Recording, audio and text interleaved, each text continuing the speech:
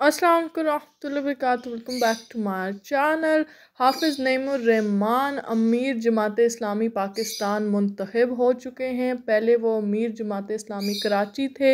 अब वो पूरे पाकिस्तान के अमीर जमात इस्लामी मुंतखब हुए हैं। पैंतालीस हज़ार लोगों ने उन्हें वोट कास्ट की और 82 परसेंट टर्न आउट हुआ है।